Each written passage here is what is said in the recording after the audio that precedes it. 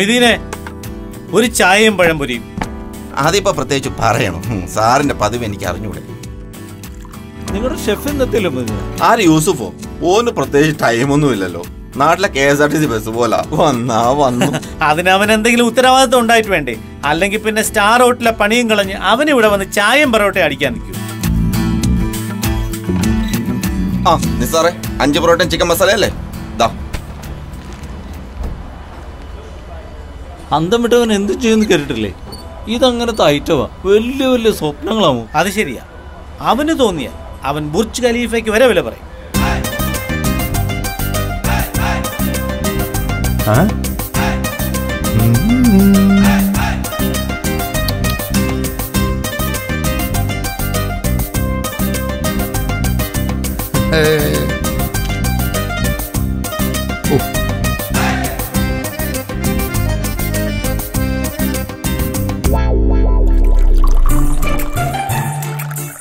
യൂസുഫേ ഇങ്ങനെയായ നമ്മൾ തമ്മിൽ ശരിയാവൂല. കടയിൽ നാലാൾ വരുന്ന സമയത്ത് ഓന്റെ ഒരു സെൽഫി എടുത്ത് കളി. ഇങ്ങനെയായ കടയിൽ പണിക്ക് വേറെ ആളെ നിർത്തും. ഈ മൊയ്തീന്റെ ഒരു തമാശേ. എന്നെ പിരിച്ചു വിട്ടിട്ട് ഈ ശമ്പളത്തിന് പണിക്ക് കയറാൻ ആൾക്കാർ പുറത്ത് ക്യൂ നിൽക്കയല്ലേ? വേണ്ടടാ ഞാൻ ഒറ്റയ്ക്ക് നടത്തിക്കോളാം. അപ്പൊ സീരിയസ് ആയിട്ടാണല്ലേ? എന്നാ ഞാൻ വൈകി വന്നതിന്റെ കാരണം കേട്ടോളൂ. ഇപ്പൊ ഇവിടെ ആരൊക്കെ ഉള്ളത്? മനുഷ്യര്. അല്ലാന്ന്. നമ്മൾ നാലഞ്ച് മലയാളികൾ ഇന്ത്യക്കാര്. രാവിലെ തൊട്ട് ഇവിടെ ആരാ വരുന്നത്? തൊട്ടടുത്ത ലേബർ ക്യാമ്പിലെ അവരല്ലേ? അവർക്ക് ഞാൻ ചായ കൊടുക്കൂല. അതെന്താടാ? അവരെന്നെ കടിച്ചാ? അതോ മാന്തിയാ? അവരെ കാണുമ്പോൾ എനിക്ക് എന്റെ ചോര തിളയ്ക്കും. ഞാനേ ഒരു രാജ്യസ്നേഹിയാ. തള്ളു നിർത്തിയിട്ട് നീ ചായ ജോർജ് സാറിന് കൊണ്ട് കൊടു സാറ് ചായ. ഞാൻ വരുമ്പോ നീ ആ കിസൈസെ കിടന്ന് കറങ്ങുന്നുണ്ടല്ലോ. സാർ കണ്ടല്ലേ? അവിടെ ഒരു ഫ്ലാറ്റ് ഉണ്ടെന്ന് അറിഞ്ഞിട്ട് പോയതാ. ഫ്ലാറ്റോ? ആർക്ക്? എനിക്ക്. അല്ലാതെ ആർക്കാ? ഫ്ലാറ്റ് ഉഗ്രനാ. റെന്റും എങ്ങനെയെങ്കിലും ഒപ്പിക്കാം. പക്ഷെ സെക്യൂരിറ്റി അതിപ്പോ ഞാൻ കൂട്ടിയാ കൂടില്ല നമ്മളിവിടെ പത്ത് പതിനൊന്ന് കൊല്ലമായിട്ട് സ്വന്തമായിട്ട് ഫ്ലാറ്റായിട്ട് അപ്പോഴാണ് ചായക്കാരന്റെ ഒരു ഫ്ലാറ്റ് മോഹം. അങ്ങനെ പറയരുത്. ചായക്കാരന് പ്രധാനമന്ത്രി ആവാൻ പറ്റുമെങ്കിലേ എനിക്കൊരു ഫ്ലാറ്റിന് ഓണർ ആവാനും പറ്റും. ഇതിനാണ് മലർപ്പൊടിക്കാരന്റെ സ്വപ്നം ഒന്ന് നാട്ടി പറയുന്നത്. സ്വപ്നം കാണാമല്ലോ സാറേ. അതിനിപ്പോ പ്രത്യേകിച്ച് ടാക്സ് ഒന്നും കൊടുക്കണ്ടല്ലോ. പിന്നെ നിങ്ങൾ ഫ്ലാറ്റിലേക്ക് മാറാത്തത് പൈസ ഇല്ലഞ്ഞിട്ടല്ലല്ലോ. അത്രയ്ക്ക് ആർഭാടം വേണ്ടെന്ന് വെച്ചിട്ടല്ലേ. അതെ കഷ്ടപ്പെട്ടുണ്ടാക്കുന്ന പണവും ഇഷ്ടപ്പെട്ട് കെട്ടുന്ന പെണ്ണും രണ്ടും ഒരുപോലെയാ. നമ്മുടെ കയ്യിലുള്ളത് ഇത്തിരി പൊലിമ കുറവാണെങ്കിലും ഒത്തിരി ഉള്ള പോലെ അടിച്ചു പൊളിച്ചങ്ങ് ആഘോഷിക്കണം. അല്ലാണ്ട് നല്ല കാലം വന്നിട്ട് അനുഭവിക്കാന്ന് പറഞ്ഞ് കാത്തിരുന്നാലേ നാട്ടുകാർ കൊണ്ടുപോയി അനുഭവിക്കും. ആ ആൾ മാനം നോക്കിയാണെങ്കിലും പറയുന്നതിൽ കാര്യമുണ്ട് മൈദീനെ. ഇല്ലാണ്ടിരിക്ക. ഓന്റെ ജീവിതാനുഭവങ്ങൾ തന്നല്ലേ പറയണത്. ആ, അത് വിട് സാറേ. സാറിന് കാറിന് എന്ത് വിലയുണ്ട്? എന്താ നിനക്ക് വേണം? വാങ്ങുകയാണെങ്കിൽ ഇങ്ങനെ ഒരു കാർ വാങ്ങണമെന്ന് എന്റെ മോഹം. എന്റെ ഡ്രീം കാറാണ് ആണോ? എന്നാ നീ വാങ്ങിച്ചോടാ. ഞാനാണെങ്കിൽ ഇച്ചിരി ടൈറ്റാ ജോർജ് ചേട്ടാ യൂസഫ് കയറി വെറുതെ ടോക്കൺ തരും പിന്നെ നിങ്ങൾ പുലുവാൽ പിടിക്കും. ഏയ് ഏത് ബയറും കണ്ണടച്ചുകൊണ്ട് ഒന്നൊന്നൊന്നര ലക്ഷം രൂപ തരും. ബട്ട് യൂസഫിനായോണ്ട് യൂസഫ് പറയുന്ന വിലയ്ക്ക് ഞാൻ യൂസഫിന് കൊടുക്കും. എന്താ? നോക്കുന്നു. അതെ ആനപ്പിണ്ടം വീഴണമെങ്കിൽ ആന തന്നെ മുക്കണം. അല്ലാതെ അണ്ണ മുക്കിയാൽ പിണ്ടം വീഴൂല യൂസഫ്. മൊയ്തീനെ കാണാട്ടോ ഓക്കെ ശരി സാറേ.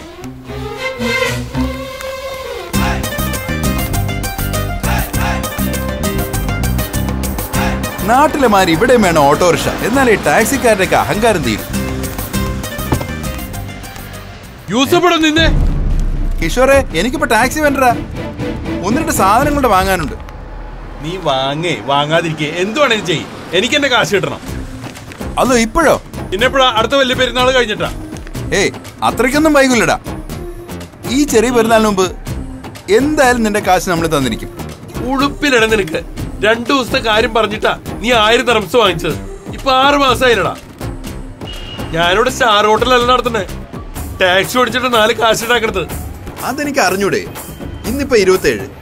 മൂന്ന് ദിവസം കഴിഞ്ഞാ ശമ്പളം കിട്ടുമ്പോ നിങ്ങളെ കാശ് ഞാൻ തന്നിരിക്കും. ഇനി അടവ് നടക്കില്ല യൂസപ്പേ. കാശ് കിട്ടാൻ നിന്നെ വിടുന്ന പ്രശ്നമില്ല. നിന്നെ അവിടെ പിടിച്ചു വെച്ചോണ്ട് നിങ്ങളെ പൈസ കിട്ടും. പിന്നെ ഈ സാധനങ്ങൾ കടയിൽ എത്തിച്ചില്ലെങ്കിൽ എന്റെ ഉള്ള പണിയും കൂടെ പോയി കിട്ടും. രണ്ടിലൊന്നും അറിയാതെ നിന്നെ വിടുന്ന പ്രശ്നമില്ല. അസുഖം വന്നിട്ടോ? അത്യാവശ്യത്തിന് ഒന്നുമല്ലല്ലോ. നീ എന്റെ ഇത് പൈസ വാങ്ങിയത്? അടിച്ചു പൊളിക്കാനല്ലേ? വാങ്ങിയത് വാട കൊടുക്കാൻ തന്നെയാണ് കിഷോറെ. പക്ഷേ കയ്യിൽ കാശ് വന്ന അപ്പൊ ഓരോന്ന് തോന്നും. നീ തന്ന കാശേ ഹവീറിലെ ആ ബെല്ലി ഡാൻസ് കാണാനാ ഞാൻ കൊടുത്തത്. ഓ എന്താ ഉള്ളൊരു കളി? അടിച്ചു പൊളിയാ കിഷോറെ. ഒറ്റ മിനിറ്റേ. ആയിരം നിറമല്ലേ? അത് തരാൻ ഒരു വഴിയുണ്ട്. ഹലോ തൗസിഫേ?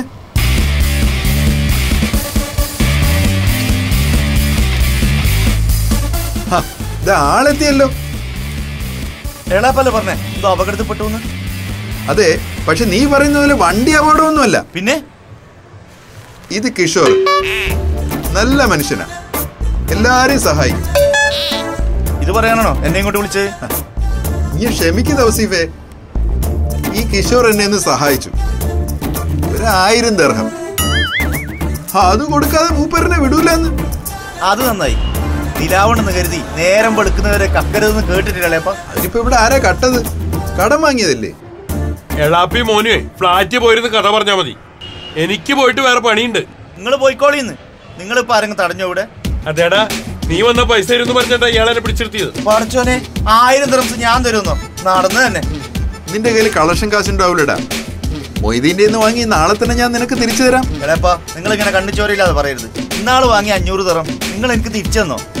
ഇത് എനിക്ക് കൂട്ടിയാ കൂടൂല. എന്റെ മാനം കളയിൽ തൗസിഫേ എന്റെ കൊക്കിൽ ജീവനുണ്ടെങ്കിൽ നാളെ രാവിലെ പൈസ ഞാൻ നിന്റെ കടയിൽ എത്തിച്ചേരും പോരെ ഉറപ്പാണല്ലോ ഇപ്പം? എന്റെ ഭാര്യയും കുട്ടികളാണ് സത്യം. ഇനിയിപ്പോ ഞാൻ വാക്ക് മാറിയാലും ദേ ഈ കിഷോറിന്റെ തല പൊട്ടിത്തെറിച്ചോട്ടെ. അങ്ങനെയായാ? ആ. നിങ്ങൾ ഇവിടേക്ക് ഞാൻ എ ടി എം പോയി കാശെടുത്തിട്ട് എളേപ്പന്റെ കയ്യിൽ കൊടുത്തുവിടാ അതെ. വരി. അതെ രണ്ടുപേരും ആ വഴിക്കാണ് മുങ്ങരുത് കേട്ടോ ഇങ്ങനെ വിശ്വാസമില്ലാണ്ടായാലോ കിഷോറെ? ചെമ്മീൻ തുള്ളിയാ ചട്ടി വരെ. ഇനിയിപ്പോ ഞാൻ മുങ്ങിയാലും ഉത്തരവാദിത്തമുള്ള ഒരാളില്ലേ ഇവിടെ? ഓ ബെസ്റ്റ്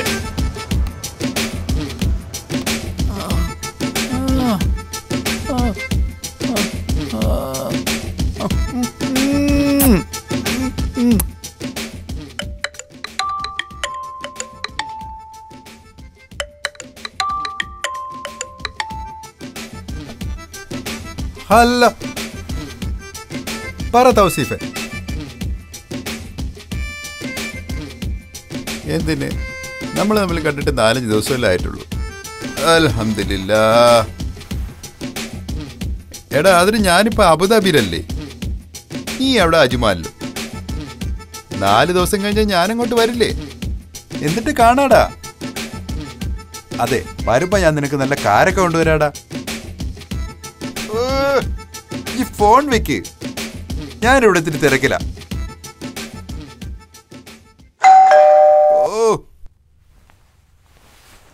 അഷ്റഫ് ഡ്യൂട്ടി കഴിഞ്ഞ് നേരത്തെ എത്തിയോ?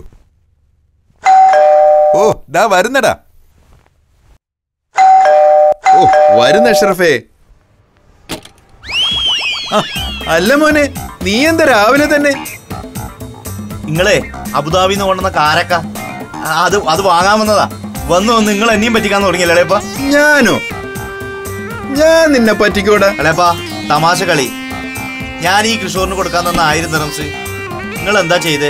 അതോ അത് പറയടാ. അതിനുമുമ്പ് രണ്ടാളും ഓരോ സുലൈമാനെ അടിക്കും.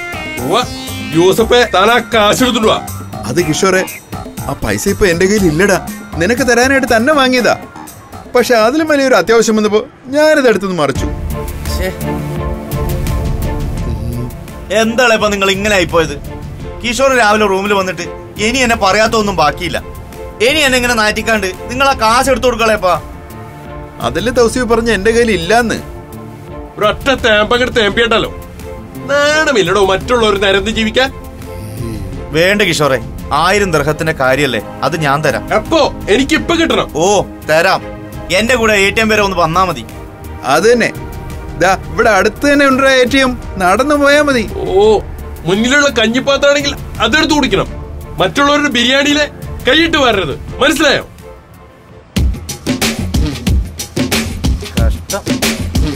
ഓ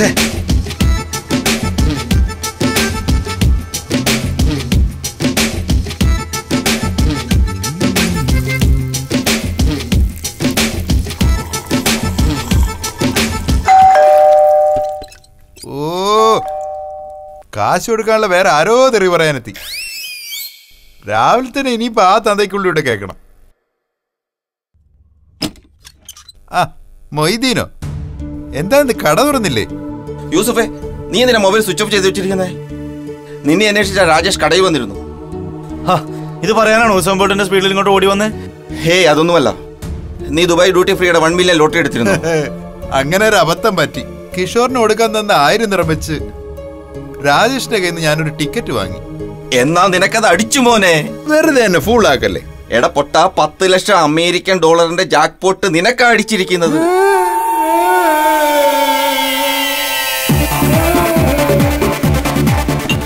ഇന്നു മുതൽ നീ ഒരു കോടീശ്വരനാണ് മോനെ.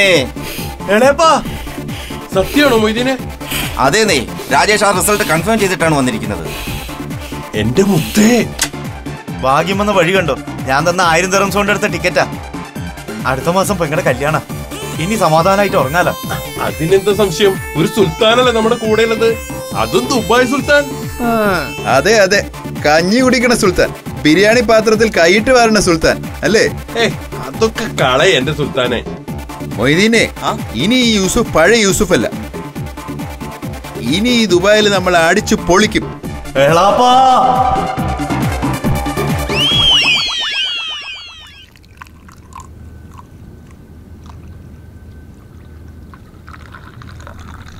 നമ്മളെ നമ്മളെപ്പോലെ ചില മണ്ടം ബിസിനസ്സുകാരുണ്ട്. ആയുഷ്കാലം മുഴുവൻ കിടന്ന് പണിയെടുക്കും. ഒടുക്കം നടുവ് നിവർക്കാൻ നോക്കുമ്പം ബാങ്ക് ബാലൻസ് ആയി പത്തോ അമ്പതോ ലക്ഷം ഉണ്ടായാൽ ഭാഗ്യം. തനിക്ക് ആ ചായക്കടക്കാരന് ലോട്ടറി അടിച്ചത് ഒട്ടും പിടിച്ചിട്ടില്ല എന്ന് തോന്നുന്നു. ഇല്ലടോ ഒട്ടും പിടിച്ചിട്ടില്ല. ഒന്നും രണ്ടും അല്ല. One million U S dollars ആറര കോടി ഇന്ത്യൻ രൂപ. ഒരു ക്ലയന്റ് ഇല്ല. മീറ്റിംഗ് ഇല്ല. മാർക്കറ്റിംഗ് ഇല്ല. ചുമ്മാ ആറര കോടി രൂപ ഒരുത്തന്റെ കയ്യിലോട്ട്. പക്ഷെ ജെയിംസേ താൻ നോക്കിക്കോ. ഇവിടെ ഞാനൊരു കളി കളിക്കും. കളിയോ? താൻ ഇത് എന്തുദ്ദേശിച്ച? എടോ ഒരു നല്ല ബിസിനസ്സുകാരന്റെ സ്ട്രാറ്റജി എന്താ തനിക്കറിയാമോ നമ്മുടെ കയ്യിലുള്ള ചെറിയ പൈസ വെച്ച് മറ്റവന്റെ കയ്യിലുള്ള പൈസ നമ്മുടെ കയ്യിലോട്ടാണ് ഓ അങ്ങനെ. ഇപ്പൊ പിടികിട്ടി. അതിനെന്താ ഒരു വഴി? വർഷങ്ങളുടെ ബിസിനസ് ഉള്ളവരെ നമ്മൾ വാചകമടിച്ചു വീഴ്ത്തുന്നു. പിന്നെയാണോടോ ഒരു പീറ ചായക്കടക്കാരൻ. കുറെ നേരമായി ഇവിടെ കാത്തിക്കുന്നു അവരൊക്കെ വലിയ വലിയ ആൾക്കാരില്ലേ? കാര്യമായിട്ട് എന്തെങ്കിലും സംസാരിക്കുമ്പോ നമ്മളെങ്ങോട്ട് പോയി ബുദ്ധിമുട്ടിക്കുന്നത് ശരിയാണോ?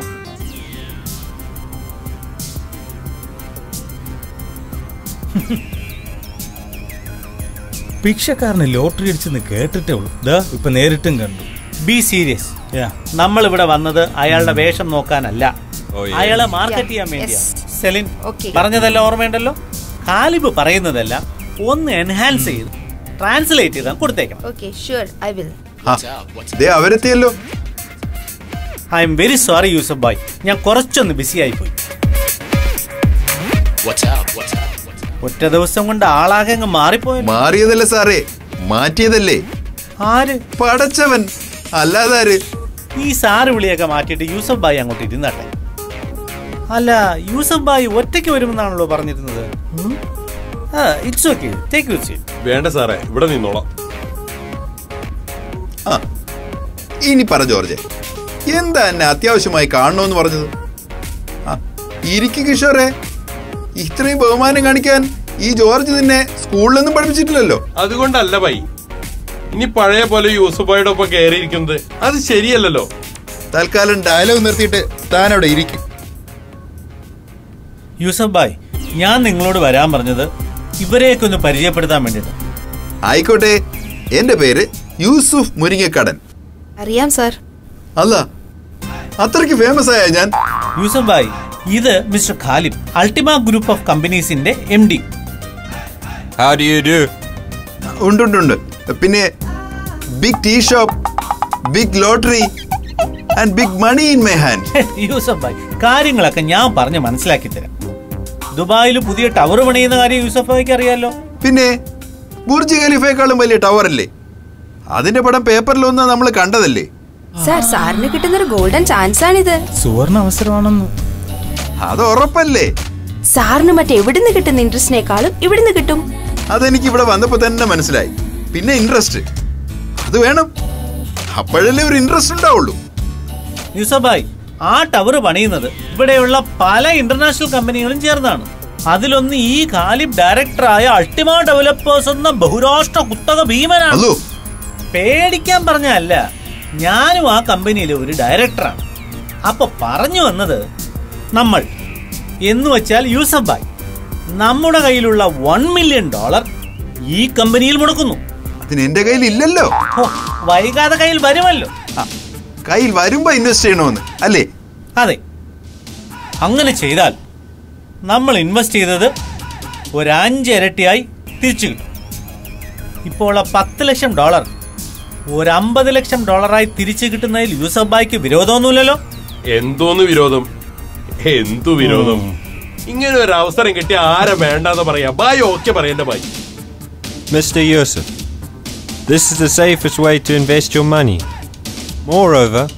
Moreover, you're getting a double profit. താങ്കൾ ഇപ്പോൾ ഒരു കോടീശ്വരനായതുകൊണ്ട് ഇൻവെസ്റ്റ് ചെയ്യാൻ പറ്റിയ ഏറ്റവും ലാഭകരമായ ബിസിനസ് ആണിതെന്നാണ് സർ പറയുന്നത്. ആ സായിപ്പ് പറയുന്നത് അത്ര കണ്ട് വിശ്വസിക്കണ്ട. പക്ഷെ ഈ കുട്ടി പറയുന്നത് നൂറ് ശതമാനം വിശ്വസിക്കാം. അത് നീ പറയാതെ തന്നെ എനിക്കറിയാം. ഈ മുഖം കണ്ടാൽ അറിഞ്ഞൂടെ? പത്തര മാറ്റാണെന്ന്? ആ അപ്പൊ ജോർജെ ഞാൻ പൈസ തരാം. പക്ഷെ ഒരു കണ്ടീഷൻ ഞാൻ ഈ വൺ മില്യൺ ഡോളർ അതായത് മുപ്പത്തേഴ് ലക്ഷം ദർഹം അങ്ങോട്ട് തരുമ്പോൾ അതിനു മുമ്പ് ഒരു ഉറപ്പിനായിട്ട് ഒരു ലക്ഷം ദർഹം നിങ്ങൾ എനിക്ക് ഇങ്ങോട്ട് തരണം. ഒരു പാലം ഇട്ടാൽ അങ്ങോട്ടും ഇങ്ങോട്ടും വേണ്ടേ? Do you പാലം പാലം bridge bridge okay Yusuf bhai agreed mister Khalib our deal is almost success yes indeed yes thank you ആ യൂസഫ് നാളെ എന്റെ ഓഫീസിൽ വന്ന് ഡോക്യുമെന്റ് സൈൻ ചെയ്ത് കാശ് മേടിച്ചോളൂ അതുവരെ ഒരു ഉറപ്പിന് വേണ്ടി കാർ യൂസഫ് ബായ് കൊണ്ടുപോക്കുള്ളൂ അത് പൊളിച്ചു. എന്നാ പിന്നെ ഈ ഇംഗ്ലീഷ് മലയാളത്തിലാക്കിയ മൊഞ്ചത്തി കൂടെ കാറി കയറിക്കോട്ടെ. കാര്യങ്ങളൊക്കെ ഒന്ന് കുഷിയായിക്കോട്ടെ. അതാ അതിലും പൊളിച്ചു. അത് തന്നെ.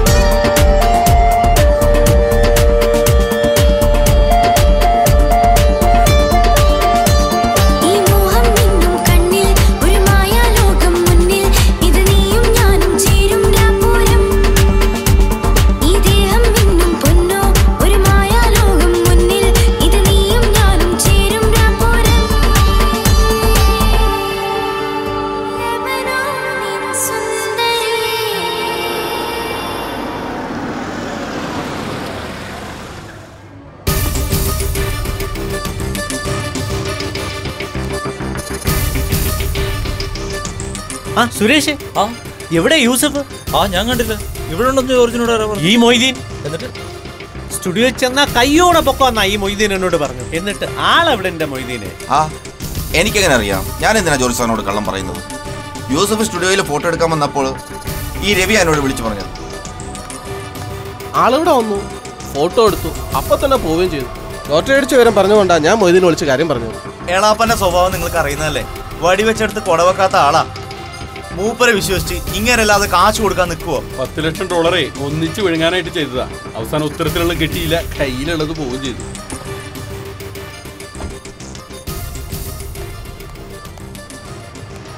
യൂസഫിനെ കിട്ടിയോ?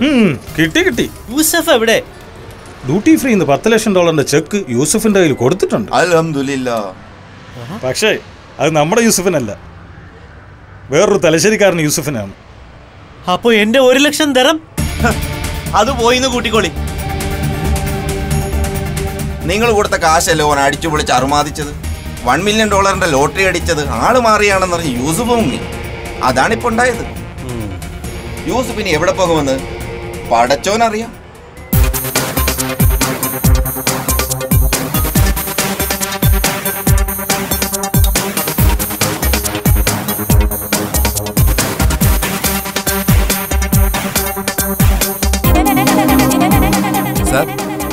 കാറിന് എന്ത് വില വരും സാർ എന്താ കാര്യം? ഇതെന്റെ ഡ്രീം കാറാണ് സാർ